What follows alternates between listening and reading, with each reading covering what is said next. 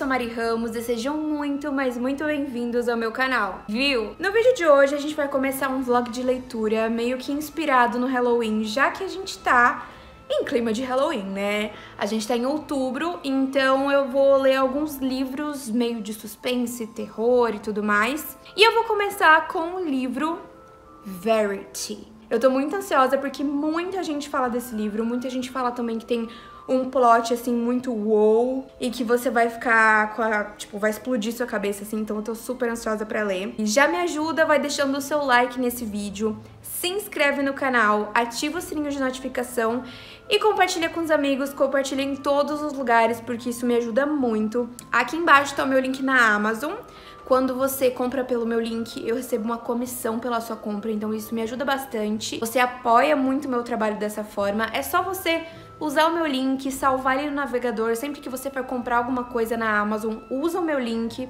Isso não muda em nada o preço para vocês, tá? É só uma comissão minha mesmo por você utilizar o meu link na Amazon. Então é isso. E eu vou deixar também o link para você comprar Verity. E é isso, gente. As minhas redes sociais estão aparecendo aqui embaixo para vocês. Ai, e bora pro vídeo de hoje. Gente, eu já comecei a ler Verity. Assim, eu sei que esse livro, ele, na verdade, é muito conturbado e tal, tem muitas coisas envolvidas. E eu só sei, eu só sei que ele é de suspense e que ele faz as pessoas, assim, explodirem a mente. Que você fica, meu Deus do céu, o que, que acontece isso?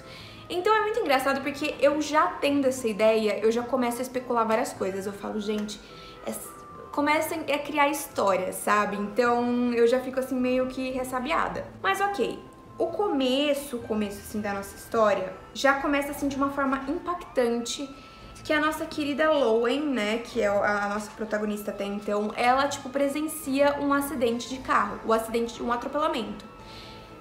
E aí ela tem todo um negócio com um cara lá que ajuda ela, porque teve vários respingos de sangue na roupa dela, ele ajuda ela, no fim ele é o cara que ela ia se encontrar para fazer uma reunião, que nem ela sabia do que se tratava a reunião.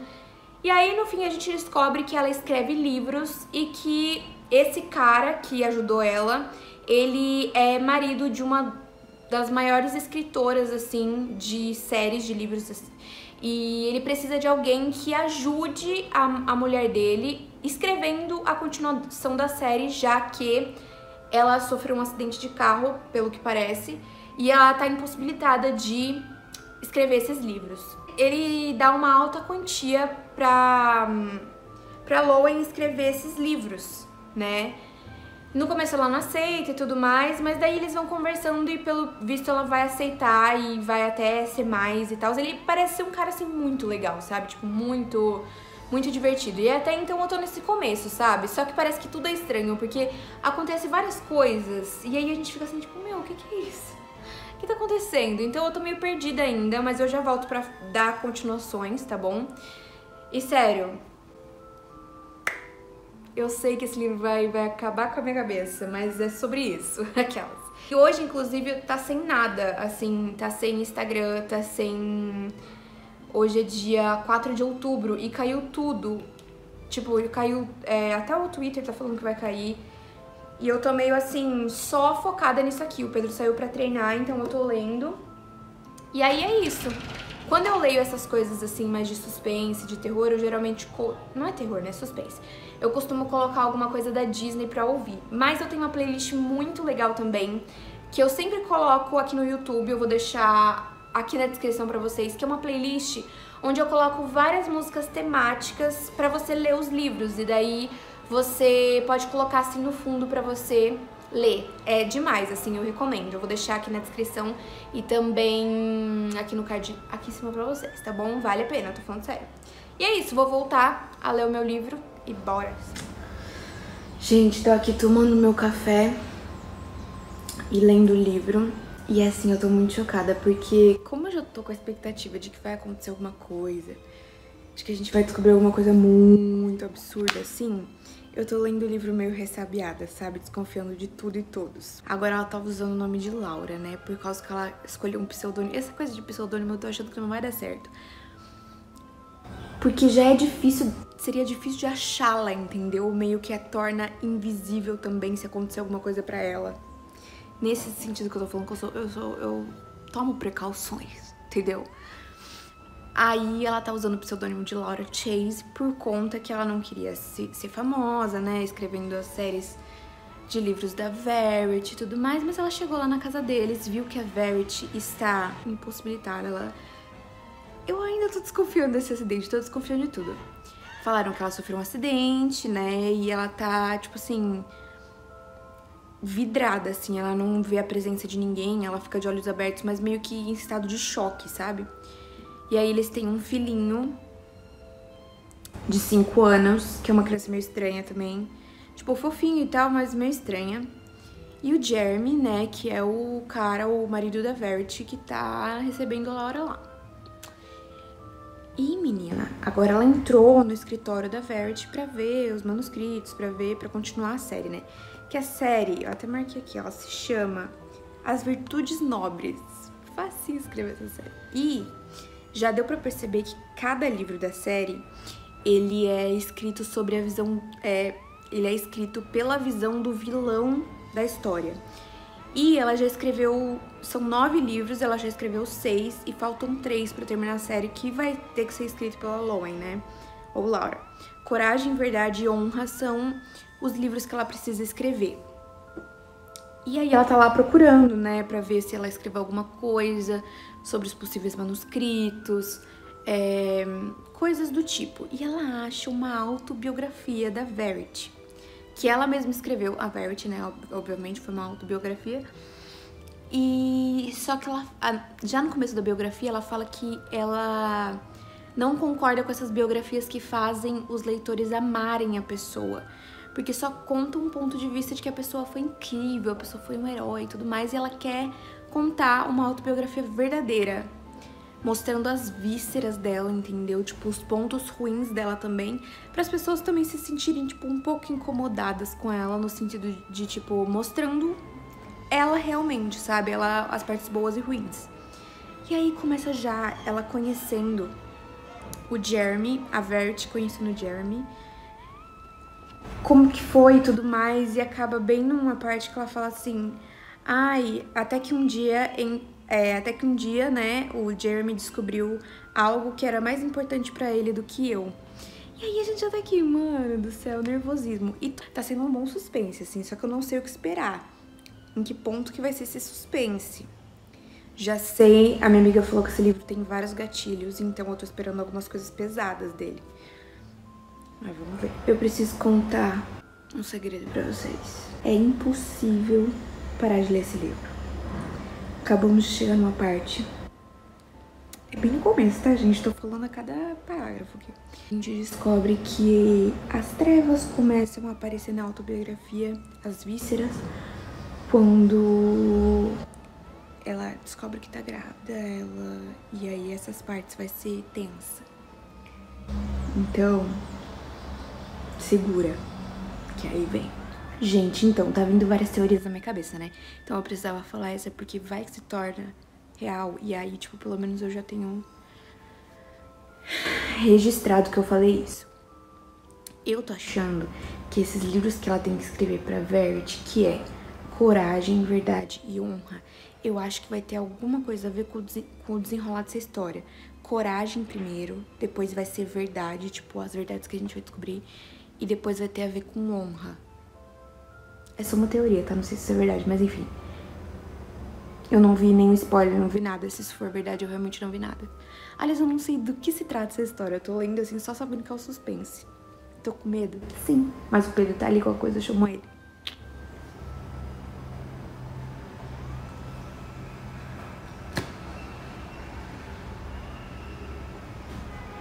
No capítulo 3, só tava esperando acontecer alguma coisa assim pra minha vida, tipo, wow, sabe, no livro. Só que agora eu tô muito chocada, porque assim, a Verity tem muitos ciúmes das filhas gêmeas. Tipo, ela ama esse cara incondicionalmente. Gente, tá muito estranha essa história. E ela tem ciúmes das filhas, tipo, porque ele ama mais as filhas do que ela. Eu não tô conseguindo entender. Tipo, porque eu achei que o problema era ele, só que agora eu tô achando que ela é perigosa. Tô achando que ela vai ficar com muitos ciúmes da, da Lowen lá na casa deles. E ela vai tentar alguma coisa. Gente, eu não sei. Tô nervosa. Você sabe por que, que eu começo a ler esse tipo de livro? Qual é a chance de eu dormir essa noite? Numa escala de 1 a 10. Agora eu vou ter que ler, vou ter que terminar esse livro hoje pra poder entender o que tá acontecendo. Beijo, já volto. Gente, eu tenho uma amiga que se chama Natasha. E ela já leu Verity, então ela que tá me conduzindo aqui. Falando, não, amiga, respira, você vai entender depois, não sei o quê. Mas tá difícil até de respirar. Sinceramente, eu tô... Ai, Jesus amado, tá eu tô nervosa. Nessas alturas do, do campeonato, eu já tô começando a criar teorias. Criei até uma teoria de que a Lowen e a Verity são, as, são a mesma pessoa. Sabe aquele negócio de dupla personalidade? Então, criei, porque eu sou dessas. Tô criando um monte de teoria, tô criando até a teoria de que a enfermeira é a Verity, aquela deitada é outra. Eu só não sei o que tá acontecendo, porque ela encarou de nada, ela fica encarando a Lowen. E ela não fala, não fala. E o menininho fala que, ela, que a mulher falou com ele. E tinha uma faca lá, danada não tava. Gente, não tô entendendo nada. Não estou nada. Mas tô com medo. A única sensação que eu tô é, eu preciso terminar esse livro hoje, porque eu não vou aguentar dormir sem saber o final. Mas tem muita coisa ainda. Olha, tem muita coisa ainda pra terminar. Nem tô na metade do livro, tô um pouco, quase chegando à metade. É sobre isso. Gente, eu preciso falar pra vocês que eu tô mais assustada com esse livro do que o normal. Porque fala de sonambulismo, né? E eu e o Pedro, a gente é meu sonâmbulo. O Pedro é mais que eu. O Pedro às vezes faz umas coisas de noite que eu nem gosto de lembrar, me dá uma aflição. E ele fala de noite também. Eu também falo de noite.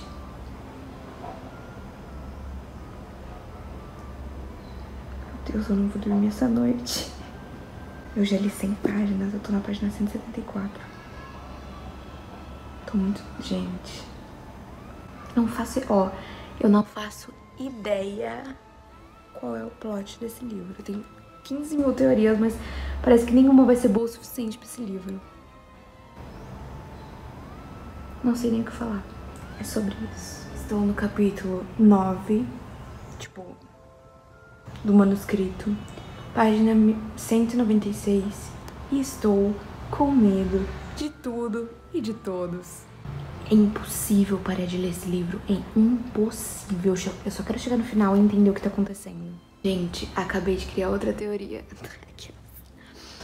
E se a Verity sofreu um acidente e ela mudou de personalidade, ela esqueceu quem ela era. Tipo, sabe, quando você.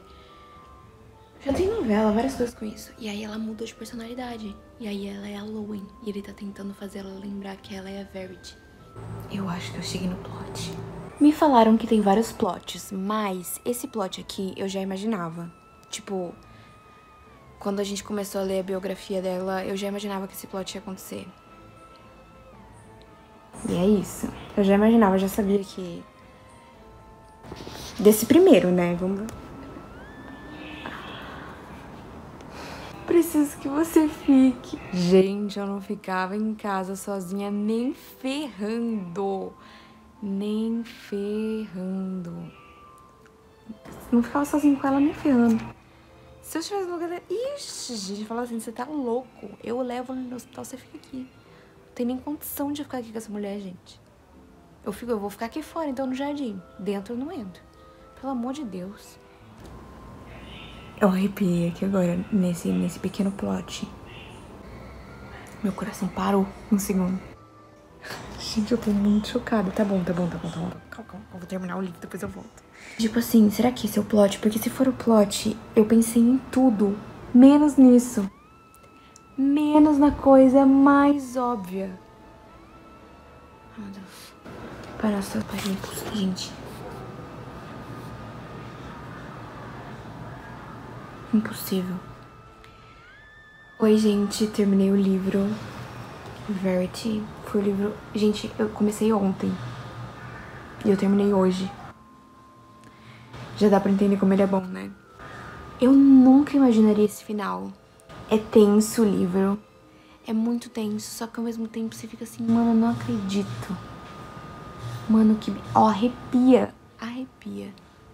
Eu queria que ela. Eu queria que o final, pelo menos se fosse óbvio desse jeito, que ela acordasse e, tipo, realmente ela fosse aquela pessoa do manuscrito, sabe? Só que quando ela acorda e aí ela. E aí. A gente lê essa carta, tipo, vendo que ela conseguiu manipular o, o manuscrito dela porque ela era uma escritora tão boa a ponto de fazer o marido dela acreditar que ela matou a filha. Ou será que ela conseguiu realmente matar a filha e aquela carta. Tá bom, foi bom o final, realmente. Aí aquela carta era meio que pra tentar se safar, tentar convencer o Jeremy. Realmente.